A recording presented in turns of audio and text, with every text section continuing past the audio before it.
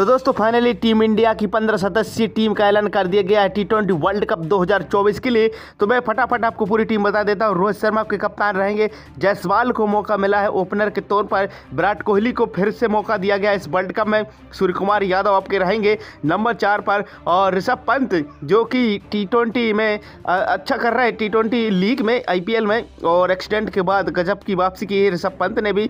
ऋषभ पंत को मौका मिला है संजू सैमसन, जो कि टी ट्वेंटी क्रिकेट में आमतौर पर आप इंडिया की टीम में उनको बहुत कम देखते थे, लेकिन संजू सैमसन को भी मौका मिला है। हार्दिक पांड्या आपके वाइस कैप्टन रहेंगे। हार्दिक पांड्या को मौका मिला है शिवम दुबे, सबसे बड़ा ये जो चौंकाने वाला नाम है, जिन्होंने आईपीएल में लगातार हर मैच में ज़बरदस्त परफॉर्मेंस दिया है। तो शिवम दुबे को मौका मिला है और रविंद्र जडेजा को भी, जो कि ऑब्वियसली सी बात है कि रविंद्र जडेजा का नाम इसमें आ रहा था अक्षर पटेल को मौका दिया गया है।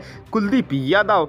और जो इसमें सबसे चौंकाने वाला फैसला लग रहा है, वो है युजवेंद्र चहल का, जिनको हमने अभी टीम इंडिया के जो कॉन्ट्रैक्ट है, उससे भी बाहर कर दिया था, लेकिन युजवेंद्र चहल को मौका दिया गया है। और अगर बात करें तेज गेंदबाजों की तो इसमें आपको अर्शदीप सिंह नज़र आएँगे, जसप्रीत बुमराह और मोहम्मद सिराज। तो ये आपकी भारत की पंद्रह सदस्यीय टीम है। उसके अलावा भी चार आपको रिज़र्व में खिलाड़ी नज़र आएँगे। जिनमें से दो बल्लेबाज हैं, एक ओपनर और एक फिनेसर जी हाँ बात करें सुमन गिल और रिंकू सिंह की। उसके अलावा आपको खलील अहमद और आवेश खान नज़र आते हैं। तो ये है भारत की भी पूरी टीम, जो कि आपको टी वर्ल्ड कप दो हज़ार चौबीस में आपको खेलती हुई नज़र आने वाली।